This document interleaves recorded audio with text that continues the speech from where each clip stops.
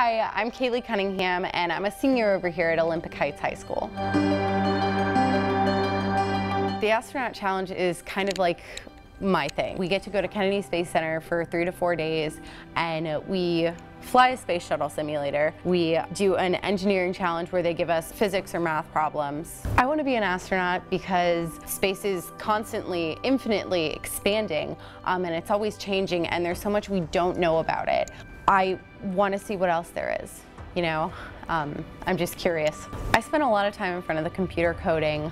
It's very challenging, um, but I also find it very intellectually stimulating because it's problem solving. I like to see the beauty in technology and to create something that would actually help someone it made me feel grateful to do something productive and make a difference. I was really proud to um, be fortunate enough to win the Congressional App Challenge and my app was called Number Ninja. It's a program to basically teach math. I am incredibly grateful to be at Olympic Heights. Seeing that they have an engineering academy, um, it completely changed my world. Teachers like Miss Nemi, um, she inspires me every day um, to keep working harder and keep pushing towards my dreams because um, being in this kind of environment with so much encouragement uh, makes you realize that your dreams could be possible.